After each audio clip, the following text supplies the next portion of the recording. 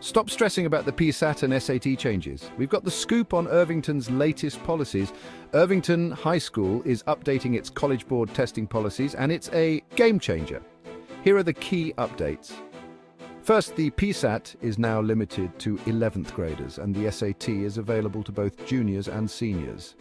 This aligns with the district's standardized testing approach and ensures everyone gets a fair shot. Next up, the College Board is shifting to digital exams for both the SAT and AP tests. Why? To curb cheating and keep things fair. Irvington is on it, upgrading its IT systems to handle this transition smoothly.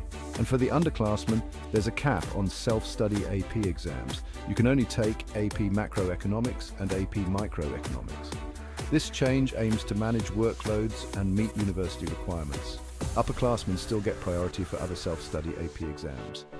These updates are designed to streamline the testing process and reduce stress, so students, parents and educators take note. Stay tuned for more updates and happy studying.